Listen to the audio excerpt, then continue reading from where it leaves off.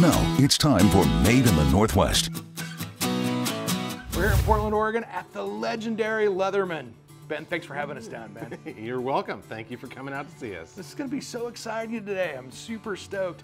Let's talk about the history of Leatherman a little bit. All right, I'd love to do that with you and ah. show you how we turn coils of steel into Leatherman tools. Oh, this is going to be great.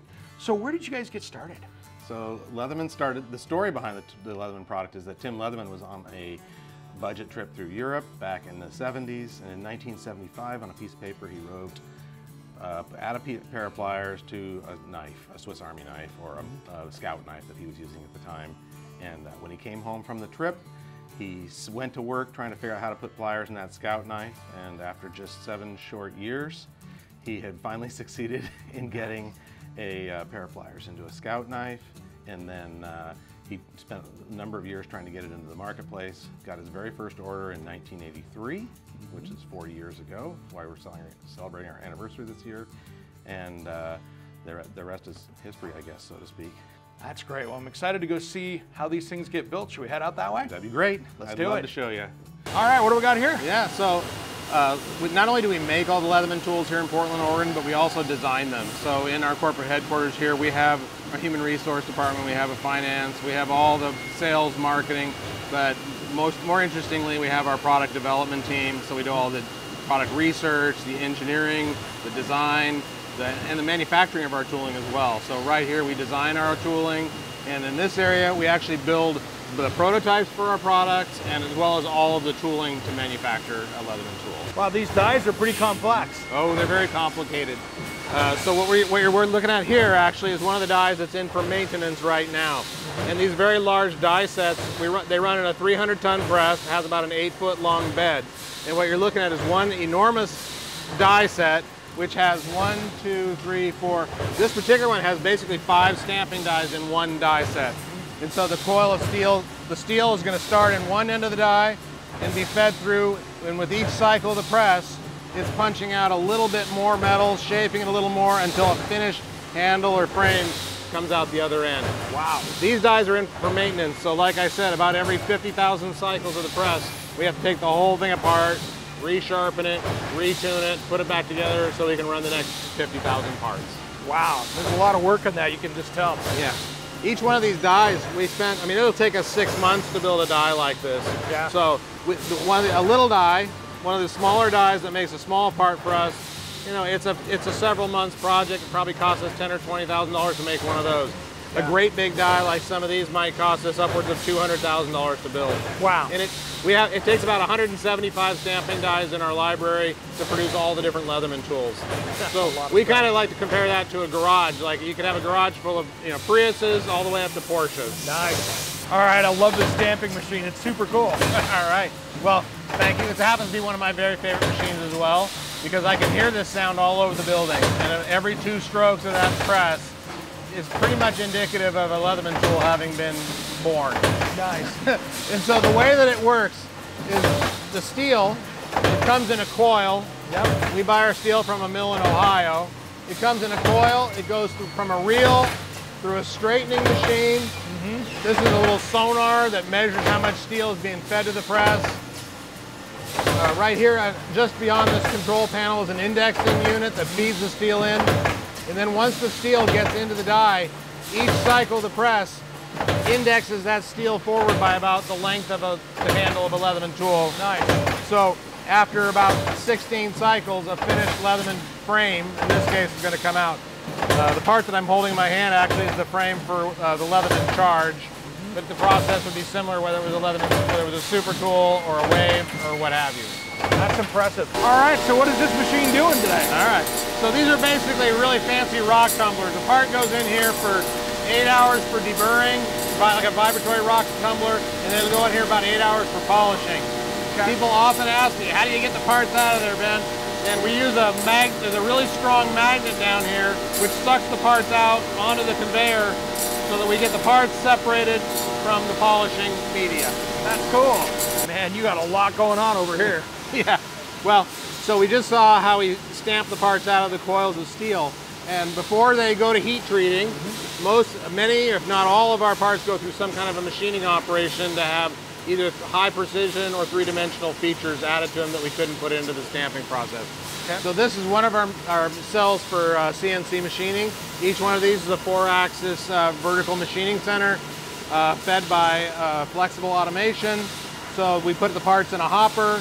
It goes in front of a camera where the part gets, uh, the shaker table presents the parts. There's a camera in there that looks at the part, picks the part out, and then the, can the robot arm then will load one of two machining centers that it's, that it's connected to. Wow. Uh, each one, each, uh, the, the basic formula we have here is we have one, auto, one robot to two milling machines, and then one uh, operator to four robots. There we go. Man, you got a lot of parts flying through here. Yeah, and each one of these machines makes everything. They make Phillips screwdrivers, they make uh, Raptor finger loops, Raptor cutting blades, they make uh, knife blades out of premium knife blade materials, they make tread, knife handles.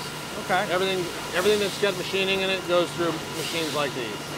All right. Well, looks like we're putting some stuff together. All right, well, now it's starting to look like a Leatherman tool. Yeah. So the two jaw halves that we just saw being uh, in the raw condition, they're now come back from heat treating.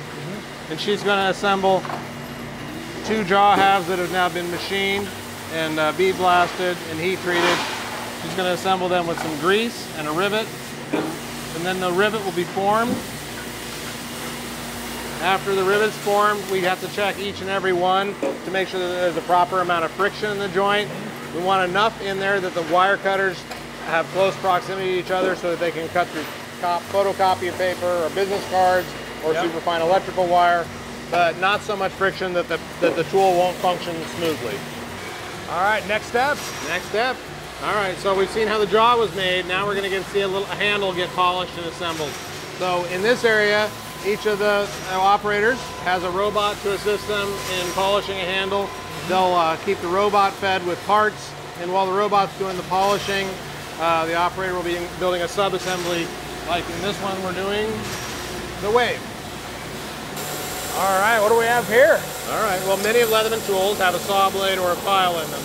Uh, we manufacture our own saws and files in this area. Oh wow. So this machine is a feeder mechanism, which is loading, which is presenting a part to a robot. The robot's gonna pick up the saw blank, which I'm holding, and the robot's gonna load first a machine that grinds the teeth into the saw blade, and then a machine that grinds the bevel, and then it's gonna deburr the saw blade and put it in a magazine over there so it can be used to go to assembly next.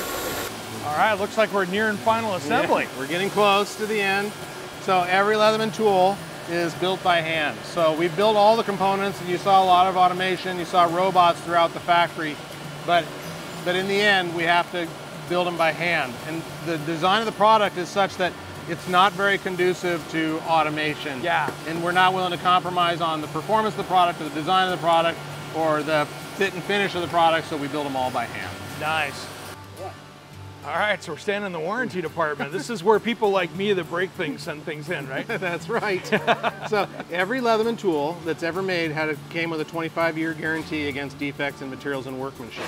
Now, Okay. even though we've been in business 40 years, we're still repairing every single tool that is sent to us, no matter whether it was made 40 years ago, or 25 years ago, or two years ago. I can also tell you that the vast majority of the tools that come through this warranty department aren't defects in materials and workmanship. They're I got it. Oh, I shot it with a gun. I my ostrich ate it. It went through my. I ran it over with a rototiller. It went in the wood chipper. You name it, we've seen it. Wow. And those 40 years of experience in our warranty department are really what has helped inform the product development and the evolution of our products. Our specifications aren't born out of of, of, of looking at a table in a, in a government standard. They're born out of 40 years of people telling us how they ruin their Leatherman tool and us trying to improve the product so that we can withstand those tests. Yeah, those tests of time. Yeah. sometimes there's nothing that's going to withstand that test. That's right. But I'm also super proud of the fact that we fix every we fix the See, that's a huge deal. So it's not just that they come in and we give you a new one. It'll go here. It'll be checked in. They'll determine whether it can be fixed or not. And back here, you can see these people are actually repairing your tool. And if you want the same tool back, you can have it back for sure. If you don't specify, we're going to do our best to repair it and return it to you. Some of them, the ones that are burned up in car crashes or shot with guns, can't necessarily be repaired. Mm-hmm. Yep. You might get a different one back. All right, Ben, we got the finished products here. Thanks for having us out. Oh, thank you so much for making time to come out and see how we convert coils of steel into Leatherman tools right here in Portland, Oregon. This is great. We got finished products. What are we looking at, man? All right, well, this is a, a little sampling of things that we make here. We've got the Leatherman Micra over there. Here we've got the Leatherman Free series. And then here we got the Leatherman Surge. This is our Raptor, which you know a lot of people don't know us for as well, but it's all about uh, extracting a person from their clothing or their vehicle in a medical emergency. The Free Series uh, pliers tool, and this is our Signal, which is really all about camping and starting fires. And, well, and right in front, I got to point out, this is our Wave tool, best-selling Leatherman of all time. Oh, that is great, man. So how do people find these if they want to pick one up? Yeah, if you're interested in learning more about Leatherman or buying a Leatherman, just go to leatherman.com. There we go. Leatherman tools made right here in Portland, right in the Northwest. That's Mr. Crunch.